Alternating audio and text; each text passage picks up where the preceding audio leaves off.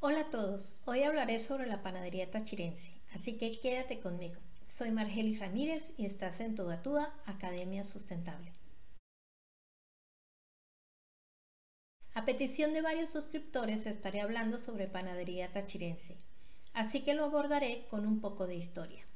Para aquellos que se inician en el tema, Táchira es uno de los tres estados andinos de Venezuela y entre varias cosas se caracteriza por la calidad y variedad de panes que se hacen en la zona y que son muy apreciados en todo el país.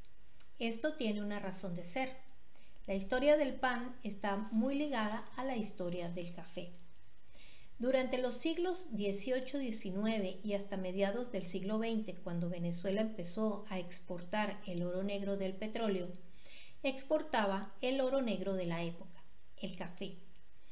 En todo el mundo se reconocía el café venezolano como el mejor café del mundo y se vendía en las principales bolsas económicas como uno de los bienes más cotizados y entre lo mejor de lo mejor se comercializaba el café que se producía en el Táchira, ya que era muy aromático y de una textura terciopelada y delicado sabor.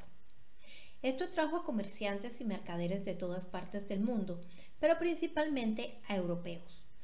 Muchos españoles ya se encontraban en la zona, pero fueron llegando posteriormente franceses, italianos, holandeses y alemanes.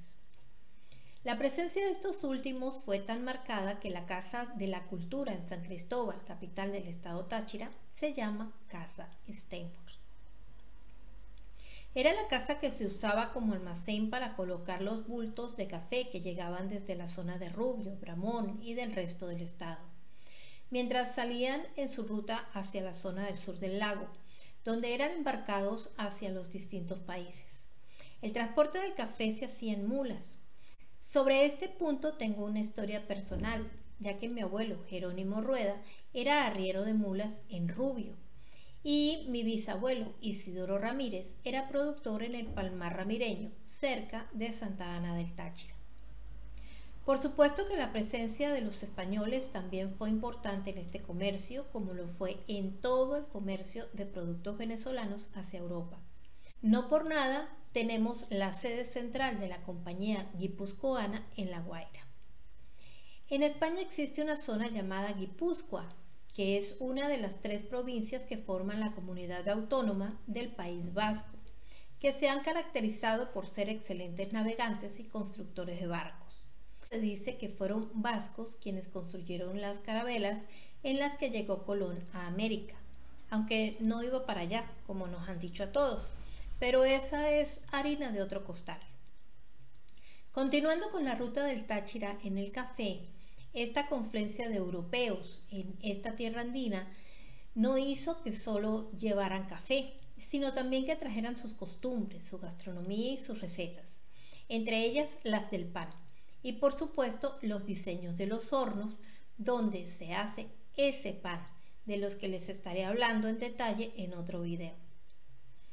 Otros que hicieron su aporte fueron los portugueses de manera más tardía, a mediados del siglo XX, cuando Venezuela se estaba modernizando, llegaron a trabajar en las construcciones que se llevaban a cabo y a emprender, por supuesto. Muchos de ellos colocaron panaderías a todo lo largo del país.